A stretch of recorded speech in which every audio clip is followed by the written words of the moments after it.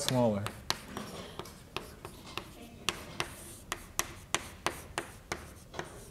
Um, okay, so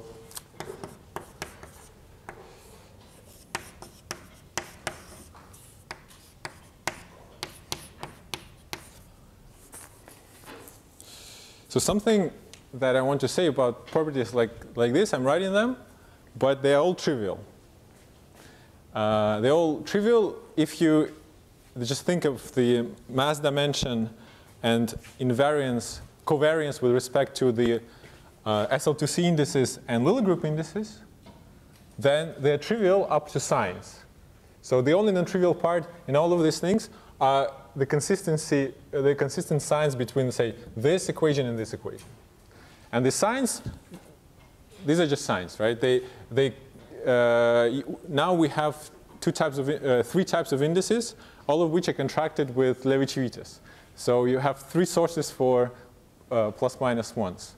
Uh, so this is why uh, I'm, I'm, just showing them to you now. for example, this equation, PA, PB contracted, right? It has to be, it doesn't have any indices, uh, any SL2C indices. It only has A and B indices. Of course, it has to be antisymmetric with respect to them because they were contracted using an SL2C Levi-Civita in the first place. So it has to be proportional to Levi-Civita. And by mass dimension, it has to be proportional to an M.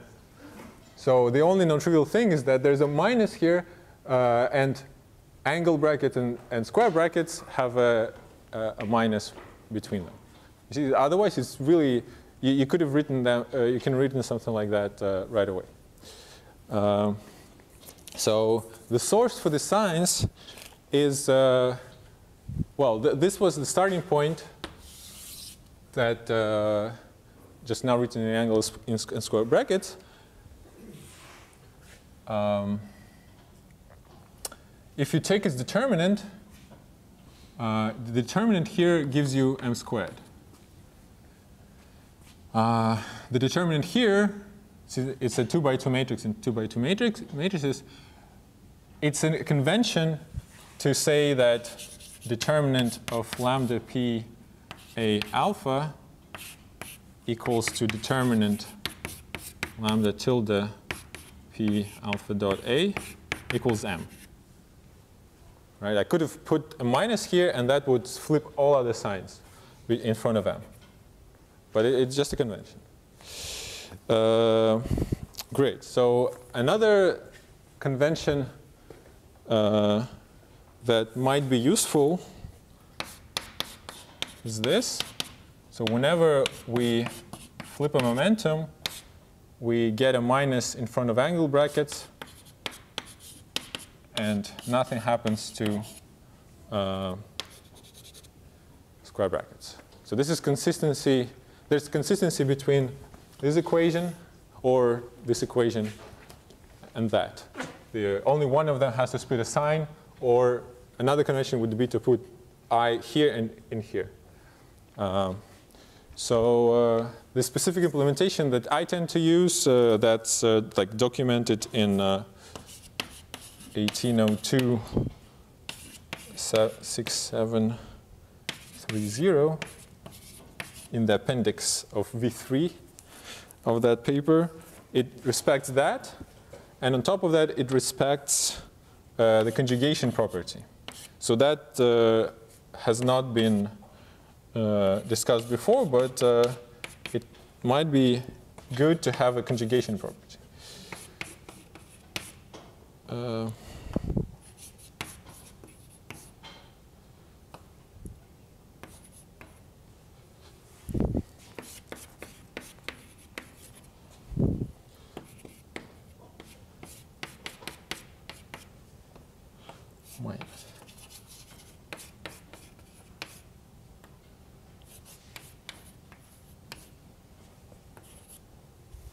Okay. Um,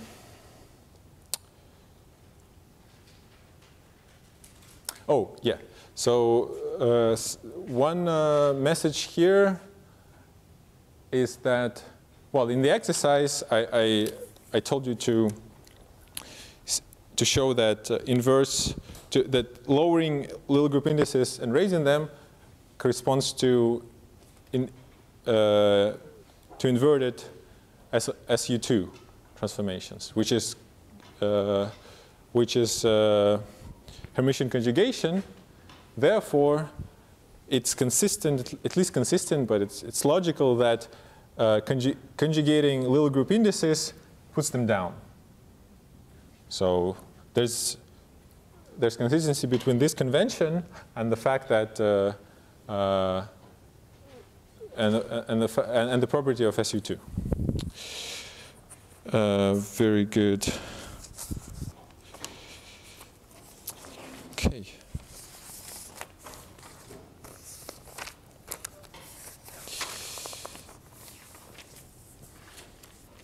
Actually, yeah, let, let me uh, let me prove this out of the definitions that uh, that I have, just to show you how, how these things uh, are proven.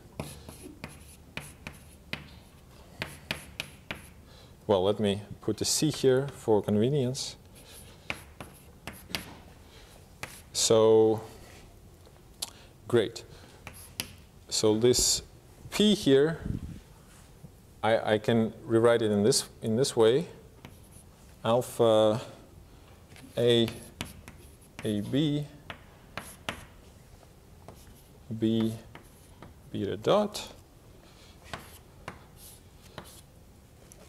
And let me lower this index. Uh, gamma dot. Now, this part, uh, C. So this part is contracted with uh, Levi-Civita on SL2C, SL2C part, so it has to be proportional. Uh, so it's antisymmetric in the SU2 part as well. So B and C, B and C uh, indices uh, have to be have to come in a Levi-Civita form. And the coefficient in front of it will be a contraction of these things. Um, lambda tilde tilde yeah. d, e.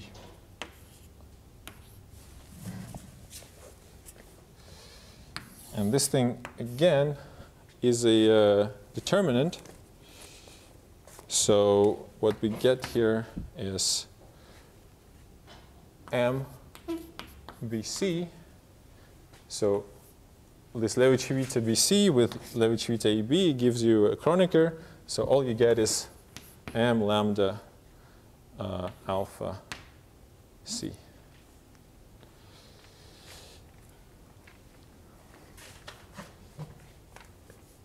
So I use the the definition here for the uh, for the factorization, and I use the convention for the determinant. That's why the sign here is m. Uh, great. So now I want to, that, that's it for the building blocks. I don't want to uh, discuss, uh, discuss them as building blocks anymore. I want to start using them for something. Uh, if there's any questions at this point, uh, please, uh, please ask them.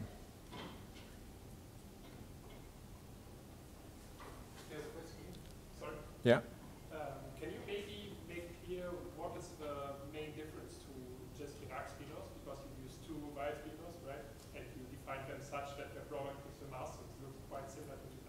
Yeah. Uh, so my next step will be to construct Dirac spinors out of the spinors. And yeah. But, uh, well, Dirac spinors package these. Uh, but we will be using this not for just Dirac spinors. Um, great. Uh, oh.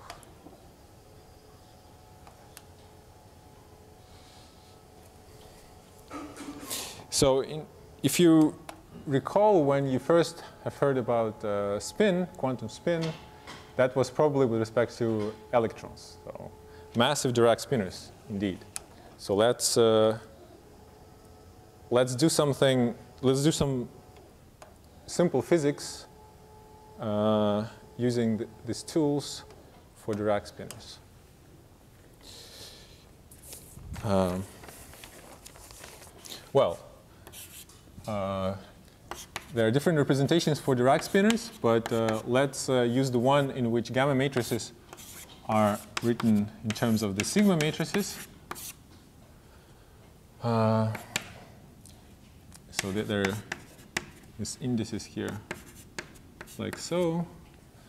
Uh, gamma 5 then becomes uh, minus 1, 1. This is why, so the upper part here acts on, so this is 1, which is actually a Kronecker with respect to something like alpha beta, and Kronecker with respect to alpha, uh, alpha, no, actually I think it's the opposite, alpha beta and alpha dot beta dot, okay?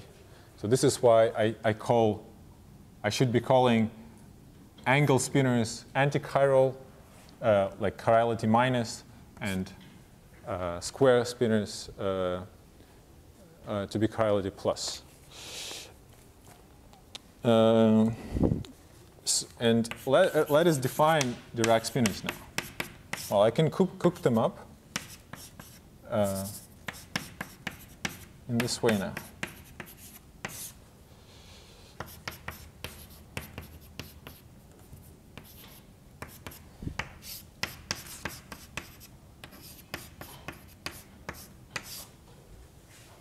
And uh, the Dirac spinor for V, uh, for, for the opposite sign of mass, I can define as, a as that for the uh, just flipping the momentum. Basically using uh, this upper property. So it's uh, an exercise of just using all of these properties uh, in uh, like four by four setting uh, to show that then I have all everything that I like about uh, Dirac spinners.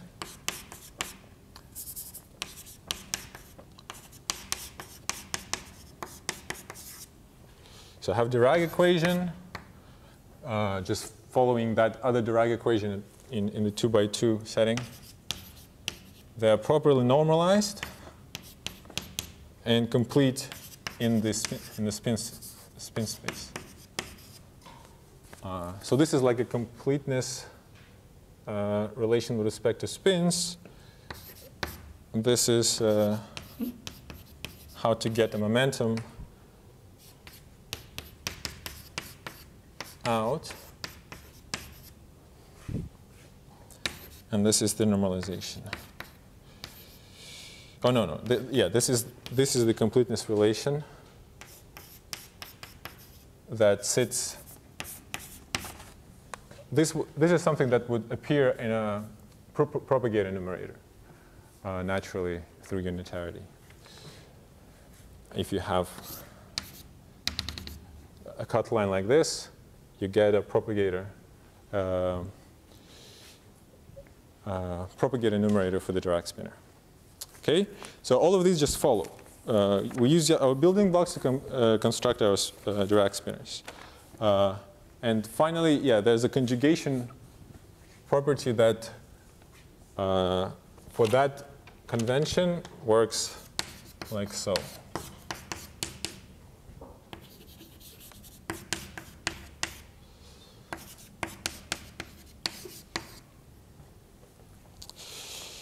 Great. Now,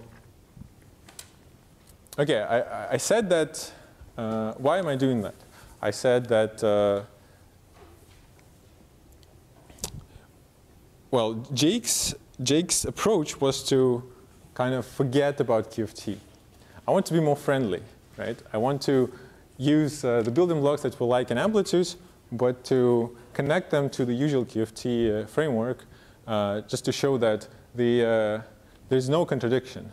You can just take those variables plug them in, and still get something out of the usual QFT approaches. Uh, and uh, you, yeah, you, you get nicer, nicer formulas. Um, actually, yeah, what am I doing? So let's, uh, let's do the simplest exercise possible. Let's compute a three-point amplitude for an old-fashioned Dirac spinor. Uh, well, let's do it in QCD. So just for the, uh, if, if this is uh, the covariant derivative with respect to some gluonic field, uh, the, the ver vertex becomes this. Uh, C and J. So this is the joint color index C, fundamental indices I and J. Uh, yeah, and there are implicit index, uh, spinor indices here, Dirac, Dirac uh, spinor indices. Yeah, square root of 2 is the usual convention that we like, where the trace of these guys is just AB. Great. Uh, so compute. A, B. So I will now I have many indices, so let me write all the spin indices upstairs and the color indices downstairs. So don't confuse the C with a with little group indices. Um,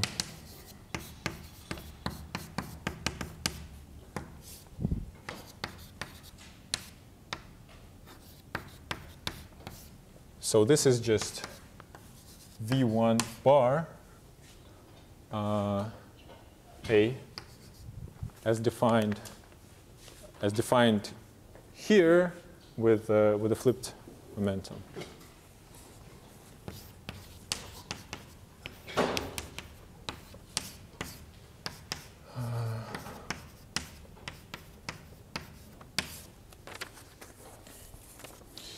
And yeah, the, the, the, last piece is the polarization vector. Uh, Q3 square of 2 Q3. So this is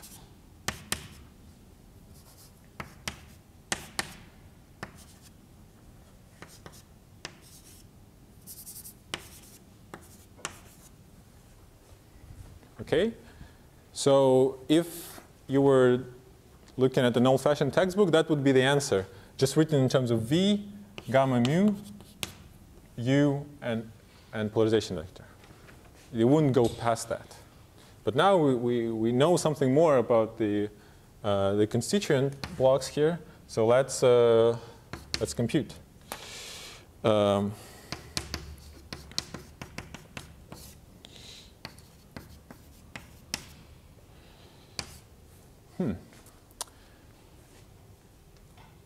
So, uh, there, of course, you probably all know, but let me draw these relations here, that this is, that contracting two sigma matrices spits you out uh, th this spinor combination um, with a factor of 2, and the same, a very similar property goes for this.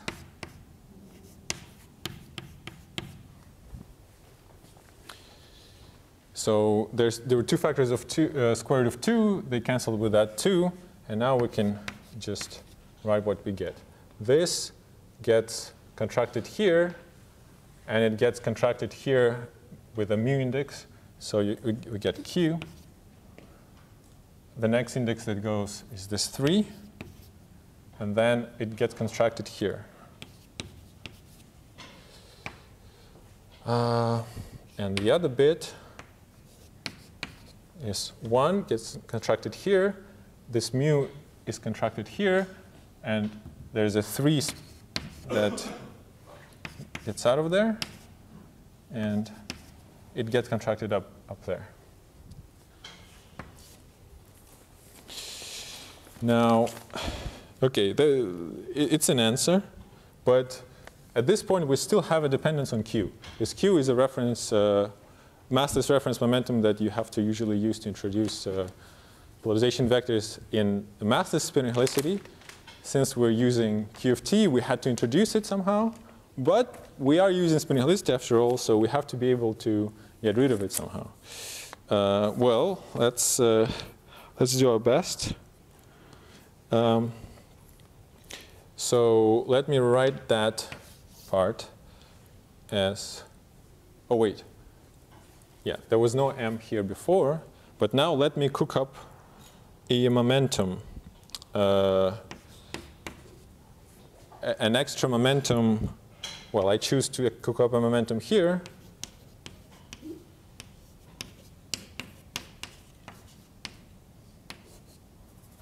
so P2. And here I choose to cook up a momentum here. So Q2B. Uh,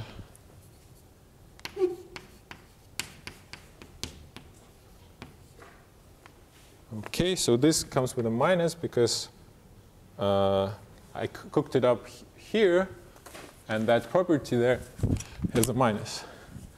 Uh, here I cooked it up here, so that property doesn't have a minus. Now I want to rewrite that as minus P1 minus P3, where of course 3 goes away because it acts on a massless spinor. So uh, in fact, I have, oh, this is Q. Yeah. Uh, so in fact, I can write that as uh, minus 1q, 2b, 1, uh, p1, 3. Okay? So this bit and this bit, uh, they naturally uh, combine into a Schouten identity. So it becomes plus 1 over m uh, 2b, 1a, q, p1, 3. Okay? So I've just rewritten it. Well, it's there's still q present, but let me write it with this factor. This, I define this factor to be this. Q, P1, 3, uh, square root of, no, yeah, just 3Q.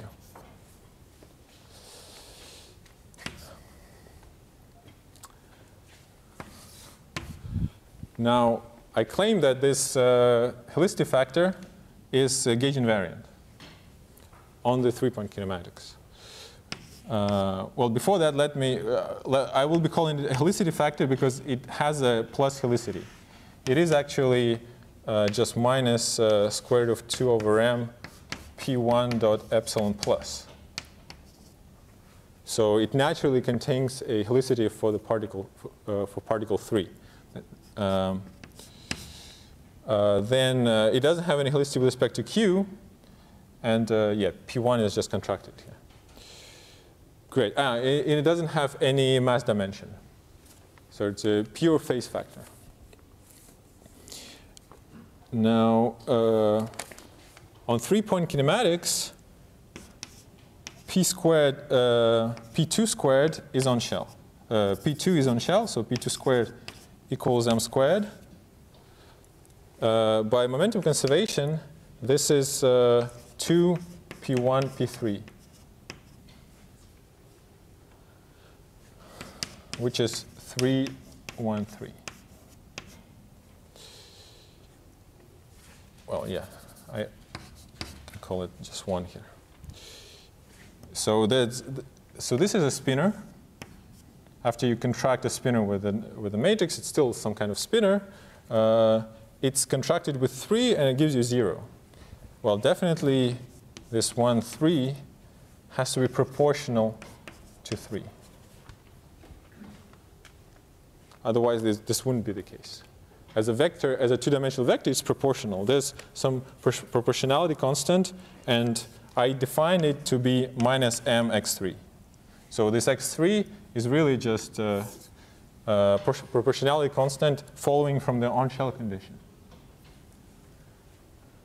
And this proportionality constant here does not depend on any reference momentum. You can just multiply it by any q on the left side and give this, get this form. But it can be anything. Uh, so therefore, this form, uh, it's not only compact, but it's also gauge invariant. Uh, as opposed to whatever like would be written here, it, it is called gauge invariant, but it's much less obvious. Um, well, at least I claim. Maybe it, it's quite it's quite obvious as well, actually, if you just use the momentum, uh, the Dirac equation. Um, but at least uh, if you imagine computing it uh, in a in, in a, in a mathematical routine, the amount of contractions you will have to do in this equation and this equation analytic, uh, analytically or numerically will be much, much smaller. Uh, and uh, a similar calculation, uh, so my starting point was here, the end point was there, and a similar cal calculation for the other helicity minus would give uh, minus ig tcig x3 1 over x3.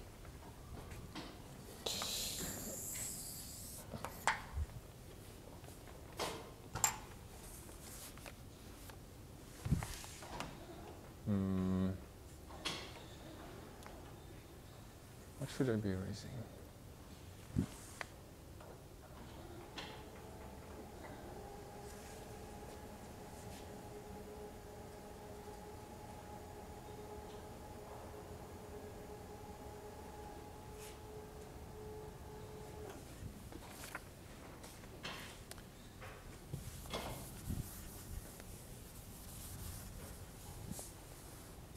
So at this point, I have introduced enough uh, um, enough equations to go on, but let me uh, highlight something important here.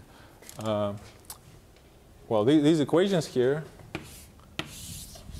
tell us that unlike the uh, massless case, we can always trade uh, anti-chiral spinors for chiral spinors and vice versa. There's always, you, you, can always trade them, just one for the other. And in, here, I wrote one amplitude in, in, uh, in one basis and the other one in another basis. So I, I could actually have uh, done uh, something else. So for that, on three points, let, let me write some equations that hold on three points. In Fact on three points, um, there's a minus here.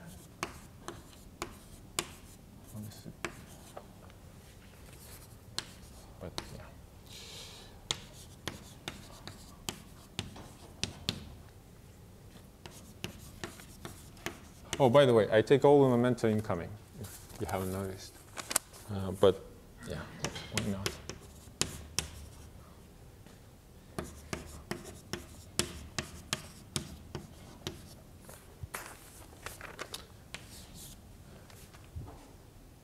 Um, yeah, it's easy to show like this works, for example, that you, you can cook up a momentum uh, 1 here, and then uh, remind yourself that this was uh, minus m x33, and you, you, you get this. Easy. Uh, therefore, this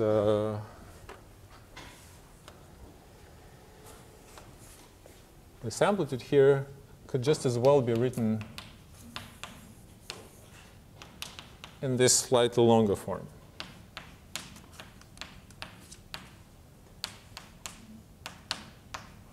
Mm.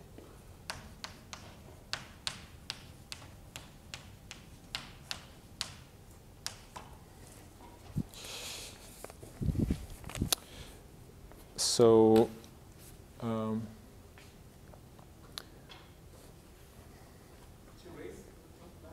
oh.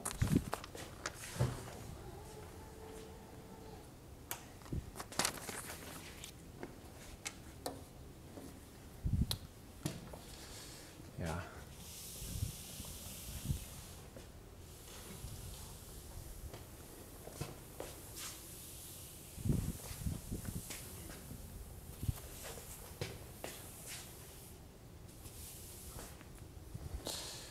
Uh-huh.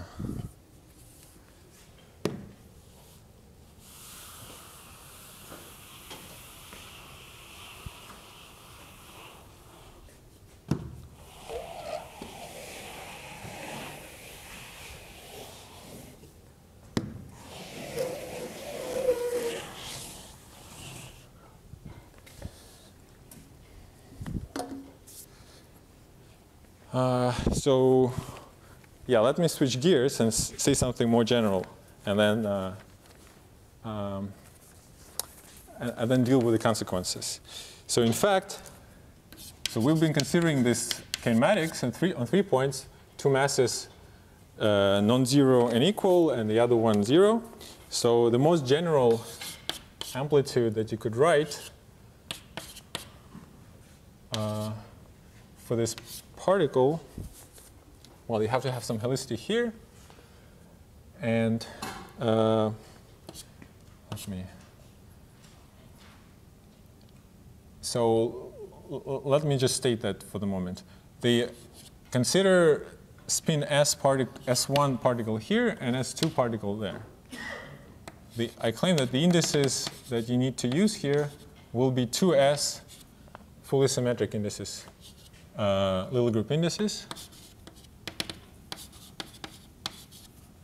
And um, so S1 and S2, they can be different.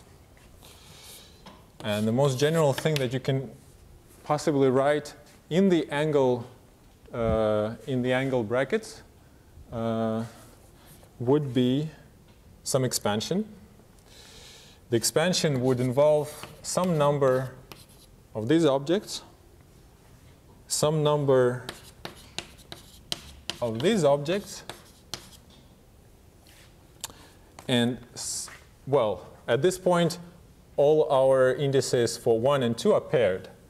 So if, if, if S1 and S2 are different, then there's also objects like this uh, that can enter.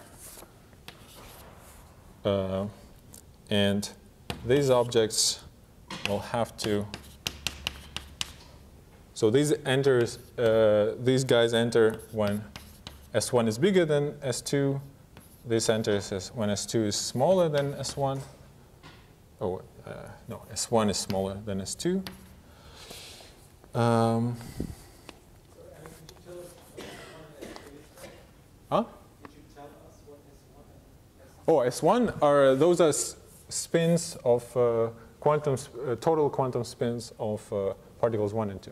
So so far I've been talking about spin 1 half, and spin 1 half is consistent with what I just said because I only use one index.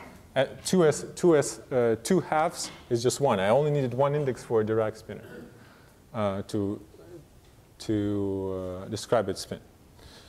Now I have uh, some general spin. I claim that I'm, I have to use much more indices. They will be all sym symmetrized. So I will be writing uh, symmetrized tensor products. So this is just symmetrized tensor product. And uh, well, I will be summing over different combinations of this form. Uh, if you think a little bit, the most general thing that you can write will go in this way. So I, I will be summing over R. This R will go depending on the spins. There will be some constants here, but everything else is fixed by, uh, by, by little group covariance and uh, uh, SL2C invariance.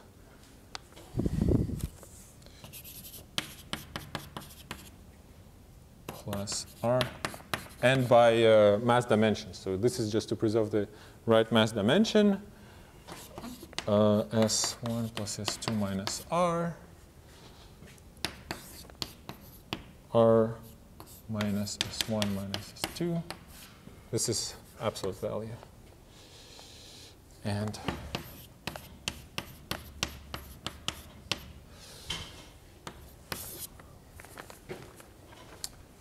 okay. So you see, uh, so I, I, at the moment I haven't introduced, uh, uh, I, I, have really accelerated very much, but I want just to show you that uh, whatever I have written there, when I was using it in a very familiar setting, can be applied to a mu much more general setting uh, for general spin amplitudes.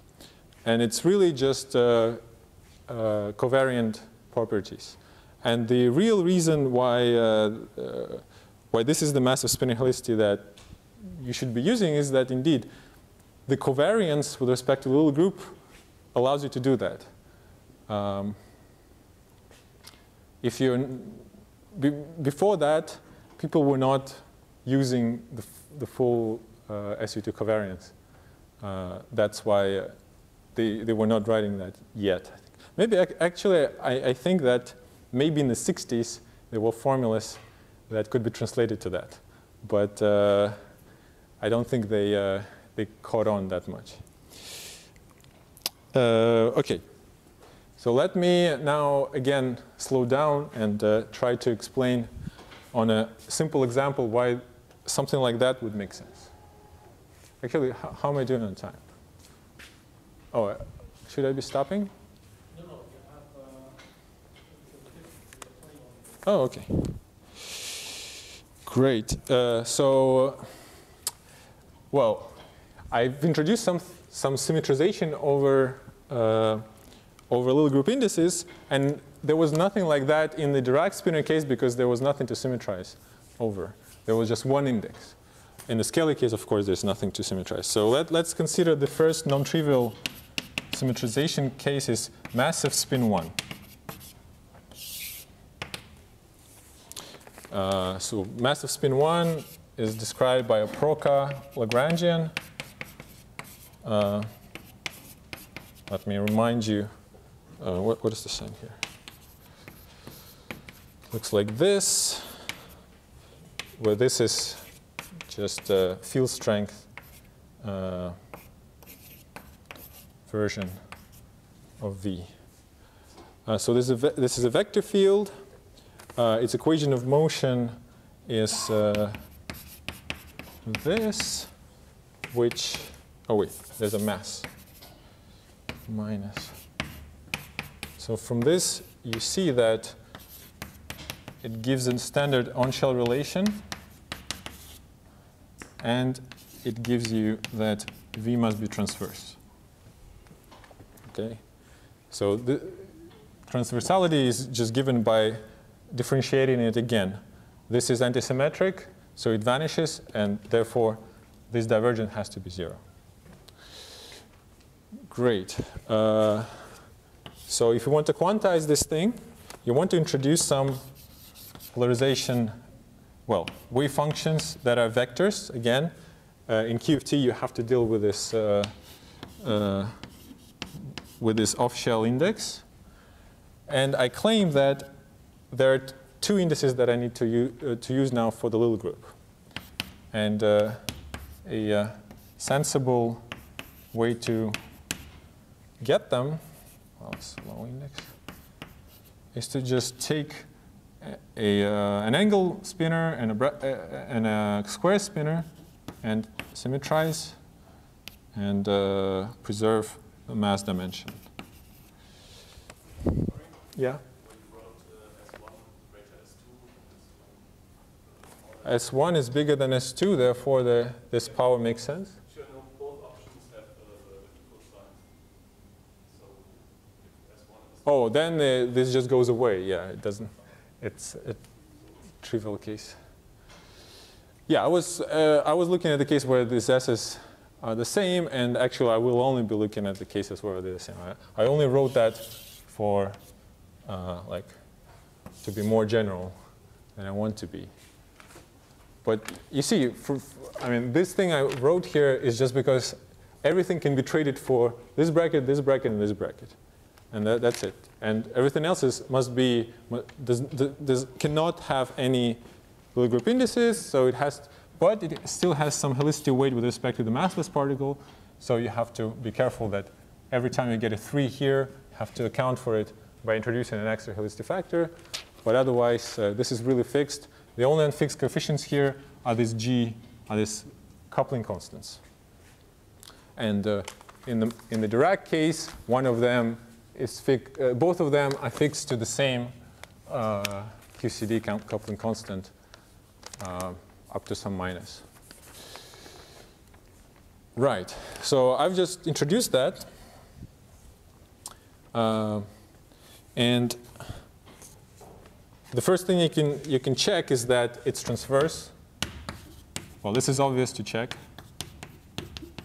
Uh, here it gives you angle bracket with an m, and backwards it gives you a square bracket with minus m, and then you, I, I, another way you symmetrize it, but what, what it gives you is a Levi-Civita, so uh, uh, so nothing happens.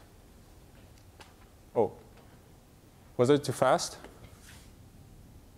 D- does everyone see the trans- transversality now from the uh, Well, uh, everybody say yes. Well, not everybody said yes, so let me write that.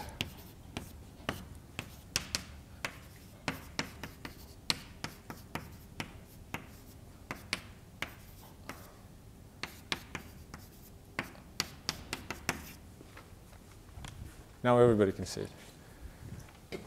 Um,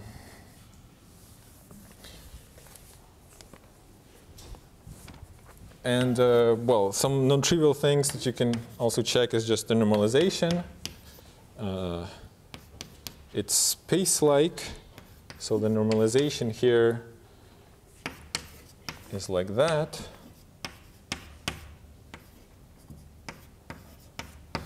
But what it really means is just that epsilon 1, 1 uh, 1, 1 equals minus 1. Uh, so, and as I uh, introduced before, lower indices means complex conjugation. So this is what you would write in the old-fashioned notation. There's a non-trivial factor of 2 here, uh, minus 1 half. Uh, so the so, so this would correspond to uh, polarization uh, plus 1, say plus 1. This corresponds to polarization 0.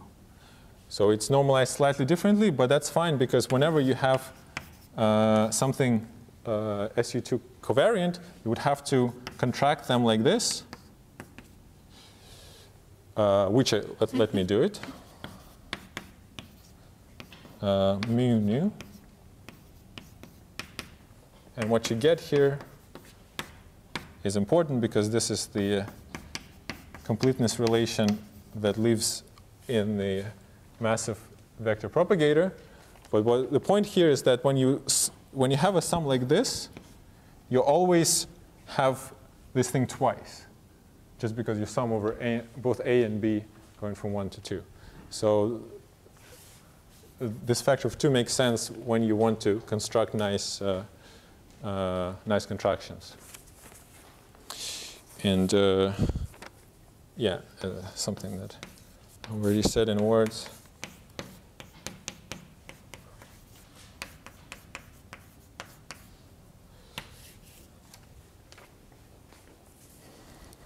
So just, just as for the Dirac spinors, I could cook up some uh, Dirac fermions, I could cook up some wave functions that I can feed into my QFT I can cook up, uh, in the vector case, I cook, can cook up some polarization, massive polarization vectors and uh, proceed in the usual way with my QFT.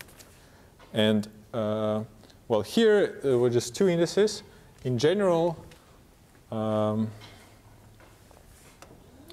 in general, uh, imagine that you have indices, 2s indices. Oh, this is.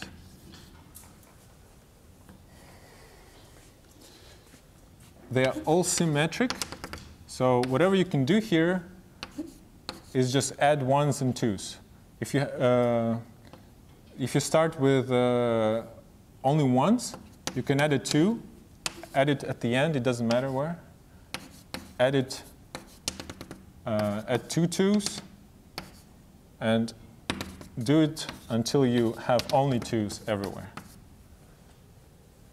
You can do it only 2s uh, minus 1 times. Uh, oh.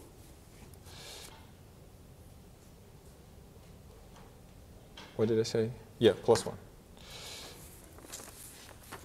Uh, and in this way, uh, you can you can relate uh, the just the uh, ones and twos in the SL2C uh, SU2 indices to helicities. But they're not really helicities. Well, they can be helic helicities if you take your quantization axis to be the momentum. But uh, let maybe let me call it polarizations. I don't know.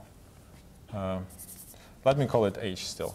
So let, imagine that this is plus S, then this is S minus 1, S minus 2, and all the way un until minus S.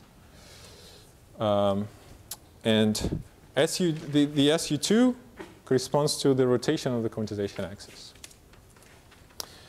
Great. Uh, yeah, I, I, can make this claim more concrete uh, for integer spins. Um,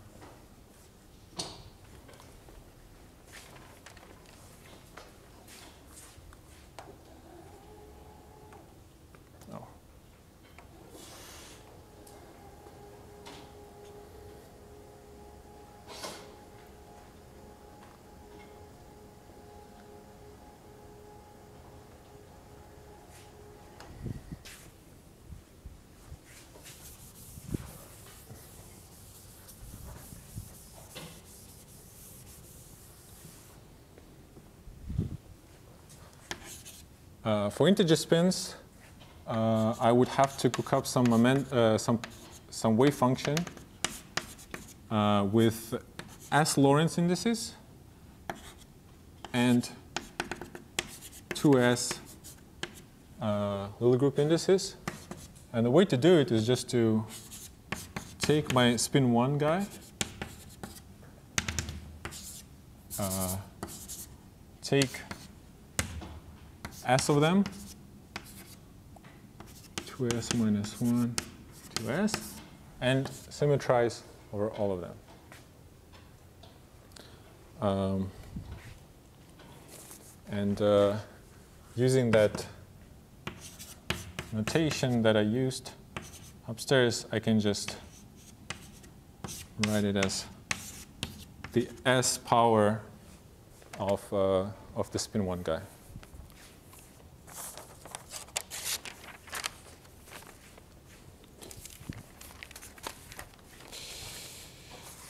Uh,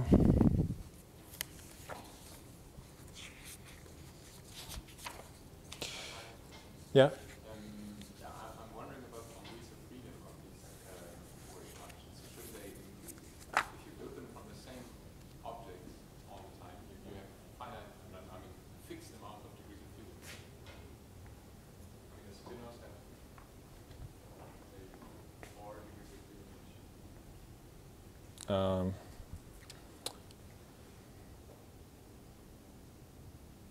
Yeah, I'm not, I'm not, sure what you mean here by degrees of freedom.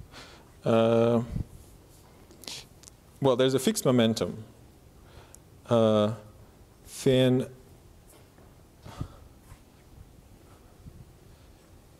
Oh, well, here uh, I created three distinct uh, polarization vectors.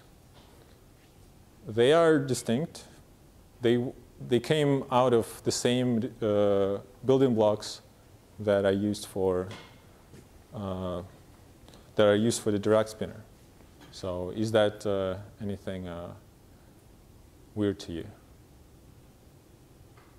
Actually, yeah, in, the, in QFT, the degrees of freedom uh, also come from uh, having different creation and annihilation operators. For example, if you have a, a Dirac spinor, you write it, the, the free field, you write it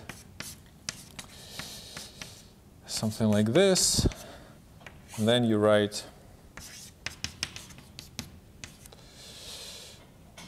u of p, a, and a creation uh, annihilation operator a, p a, plus And if it's a Dirac spinor, you use a different operator here. P uh, A V P. Okay? If it's a Majorana spinor, has half degrees of freedom, you just put NA cross here.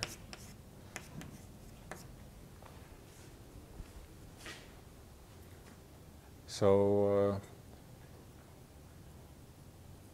you can always double degrees of freedom by, con uh, by considering uh, complex fields instead of real fields. Is, does that relate to? So degrees of freedom not only live in, in, in, those things. There's also the p that is another degree of freedom, that is another label that is, um, uh, that is continuous. Uh, great. And uh, maybe, yeah, I still have, oh. Well, since, since I was uh, talking about massive spin 1, uh, let me make an interesting remark that uh,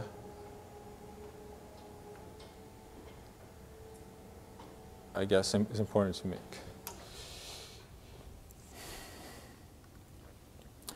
Uh, so if you take the vertex that gets, uh, if, if, you cu couple it to, uh, if you couple it to a gauge field, and you just replace these uh, derivatives by covariant derivatives,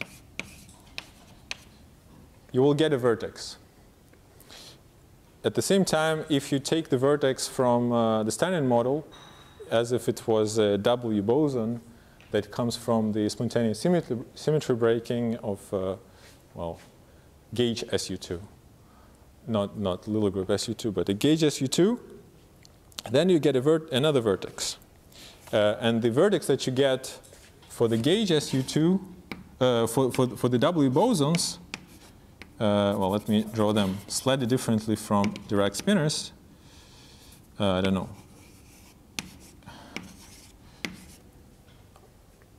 like that. So this is lambda uh, mu nu. So it will look just the same. Uh, it will be very similar to the gluonic vertex, just because it came from Yang-Mills. We'll have stuff like that. Um, sure, let me say one two, three, lambda mu nu. Then it becomes P1 lambda. Well, I'm just, this is the gluonic vertex.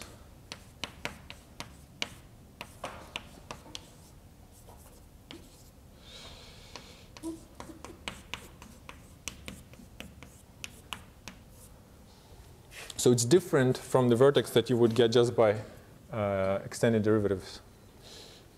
And from this vertex, uh, from the standard model vertex, you will get uh, amplitudes of this form.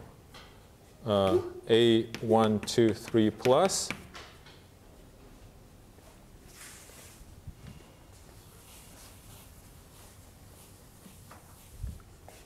will be x3, 1, 2, 2 with some g.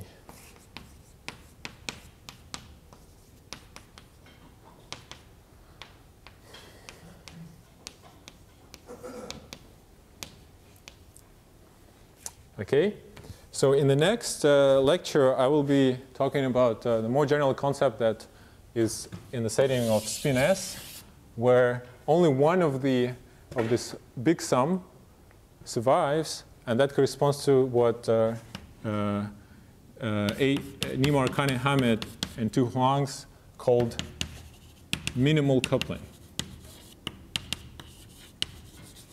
And that's something that corresponds to what uh, we use for black holes. So this minimal coupling that they defined in this little group sense, uh, it, it, corresponds to things like that, just uh, brackets to some power. Uh, for the plus helicity of the, of the gauge uh, boson, you, you get angle brackets to some power, and uh, for the other case, you get square brackets to some power. So it's just one term of this huge thing. And in the, already in the case of massive spin 1, it corresponds to this vertex, which is not the minimal coupling in the, uh, in the uh, uh covariant derivative sense. So there's uh, still this problem now. Nobody has you have to say you have to say now minimal coupling in which sense? In the in the minimal little group sense or the uh, or the covariant derivative sense?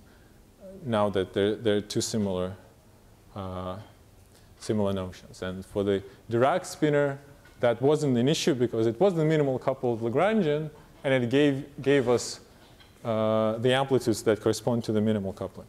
So the minimal coupling would in general be 2s here and some h minus h. Okay.